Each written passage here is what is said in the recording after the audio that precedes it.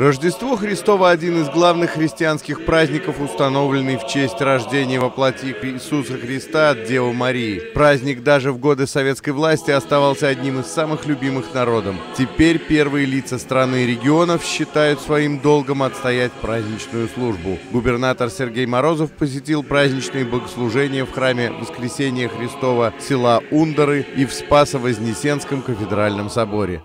Дорогие друзья, нет необходимости говорить о том, что мы живем с вами далеко не самое простое время.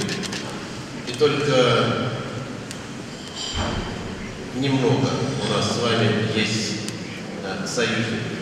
Мы привыкли считать о том, что главными союзниками для нас является всегда армия и флот. Но сегодня не меньше э, главным союзником для нас является Русская Православная Церковь.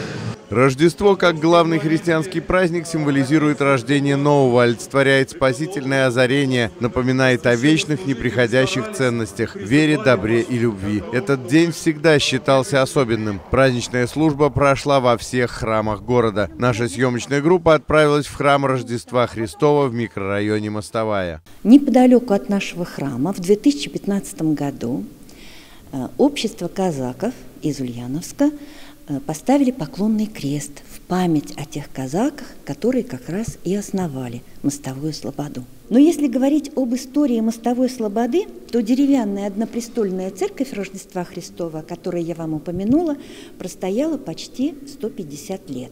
В 1804 году церковь перестроили. Храм, как говорят верующие, намоленный. Он старше Неаполимовской церкви на улице Карла Маркса и церкви в Арском. Могилы священников у строителей каменного храма на Мостовой почитаются до сих пор. Память о них не потерялась даже в безбожные советские годы, когда даже за сохранение этой памяти могли расстрелять. Но добро, как известно, торжествует. Поэтому в церкви этой теперь идут службы, и даже случайным прохожим иногда являются чудеса. Слышь слышится музыка при приближении к храму.